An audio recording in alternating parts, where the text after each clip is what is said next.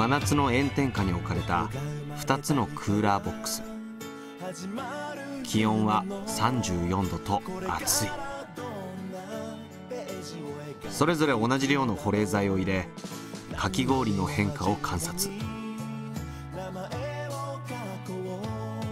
待つこと8時間。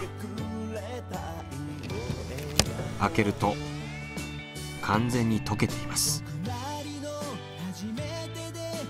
でももう一方はまだかき氷。不思議です。その秘密は魔法のような保冷剤にありました。このスーパー保冷剤が物流革命を起こすかも。前代未聞。一切電気を使わず保冷剤だけで新鮮野菜を北海道から茨城まで。2日間1270キロの大輸送作戦。このスーパー保冷剤その名はアイスバッテリー。冷たさを蓄えた電池という意味です。でも見た目は普通の保冷剤と変わりませんね。違いは冷却パワーの持続力。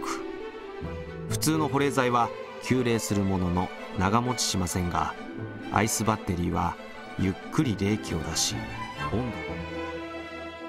手で触れても間違って口に入れても安全だと言います。ところで気がついたんですがこの色分けに何か意味はあるんですか？色で温度分けてる。マイナス35マイナス25マイナス21マイナス16度と。設定温度別に7種類そこでアイスバッテリーの性能チェック。本当に設定した温度をキープできるのでしょうか。待つこと1時間。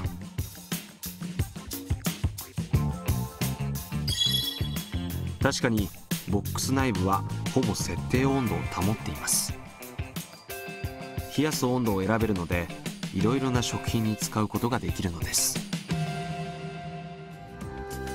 もう一つ不思議なのはアイスバッテリーは量を倍にすると冷却時間も倍になるということ。1枚で24時間2枚で48時間3枚で70時間だいたい200時間ぐらいもできますから。日本航空。アイスバッテリーを医薬品の輸送に使いたいというのです医薬品は保管する温度が厳密に決まっています。冷却温度が一定のアイスバッテリーは最適でした。これまでの配送ではドライアイスが使われていたのですがその温度はマイナス79度のため薬品が冷えすぎてしまい実験に支障が出ることがあるといいます。去年全日空もワクチンなどを輸送するためアイスバッテリーを導入しました。今年間150万人もの乳幼児たちがワクチンを接種できないために命を落としています。ワクチンは冷蔵保存が必要なこともあり配給することが難しいのです。ガルグさんのアイスバッテリーを使えば電気がなくても遠い場所の子どもたちにワクチンを届けることができます。やってきたのは北海道札幌。郊外にある貨物ターミナル駅。アイスバッテリーを使って新鮮野菜を首都圏に輸送する大実験が始まります。野菜などを新鮮なまま運ぶのに鍵を握るのは湿度の管理。通常の電気で冷やす冷蔵コンテナだとどうしても乾燥してしまいます。一方アイスバッテリーは常に湿度を70%以上に保てます。これが最大の武器。アイスバッテリーを搭載したコンテナが物流革命を起こす可能性も秘めていました。特にドライバートラックドライバーのあの不足というのは非常に深刻で高齢化しているということとから若い人が慣れてがないと物流業者からあの冷凍のトラック会社さんたちが鉄道を使いたいとで特に中長距離の部分についてはあの鉄道を使いたいサラダなどに使われるベビーリーフ柔らかい若葉で乾燥に弱い野菜2度から8度で保存しないと傷みが進んでしまいます。この取れたてのベビーリーフをトラックで札幌の貨物駅に運び鉄道でまず東京まで輸送。そこからトラックで茨城のつくばへ。1270キロ43時間の長い旅です。輸送中電気は一切使わずアイスバッテリーだけで冷やします。出荷元の農場長山口さん。貨物駅に向かうトラックをじっと見つめていました。失敗したら全て廃棄。期待よりも不安が上回っていました。15時間後。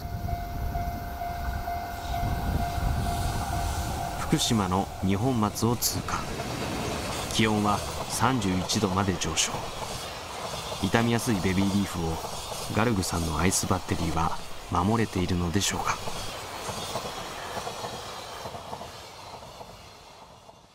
ガルグさんは一足先につくばの野菜販売会社へ。来たね。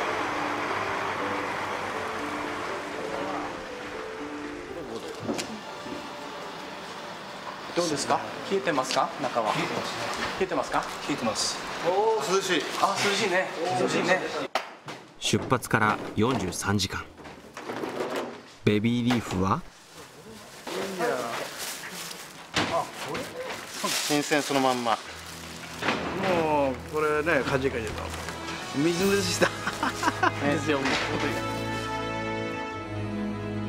本当にみずみずしい取れたて野菜と変わりません。驚くことに輸送中ずっと3度から6度湿度も70%以上をキープしています。心配でたまらなかった農家の山口さんに報告です。あのえ後で画像も送りますけども全く遜色ないというかそのあの収穫したてのまんまそうですか。はい。綺麗に届いてます。そうですか、ありがとうございます。でももともと農業産業にしないといかないから日本としてやっぱ農業産業しないといかない。ニュージャパンこれ環境のため農業のため世界のため